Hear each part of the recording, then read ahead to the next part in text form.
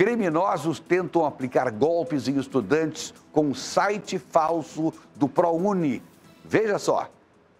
Com a proposta de garantir vaga no programa Universidade para Todos, ProUni, o site falso cobra uma taxa de R$ 80 a 100 reais para candidatos se inscreverem. A página fake imita o portal único de acesso ao ensino superior. O golpe é aplicado ao pedir dados dos alunos que almejam uma vaga e ainda com a cobrança de valores para suposta inscrição. O problema se agrava quando o site fake é amplamente divulgado, a fim de alcançar novas vítimas. No entanto, é necessário que pessoas que desejam cursar um nível superior pelo ProUni tenham o máximo de atenção.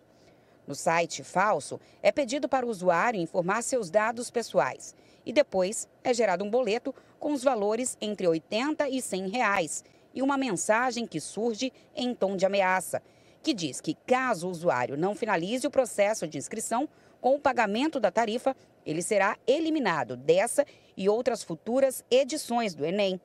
As inscrições reais para os candidatos acontecem do dia 23 a 26 de julho e devem ser feitas apenas no site oficial gov.br, sendo o acesso único.mec.gov.br barra ProUni.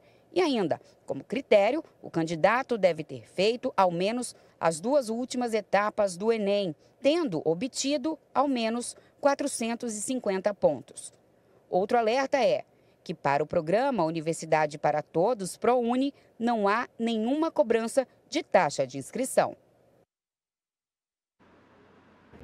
Impressionante o pessoal fazendo maldade até com, a, com os jovens, né? Uma pena realmente. Bom, o pessoal está avisado, esperamos aí que não hajam maiores consequências.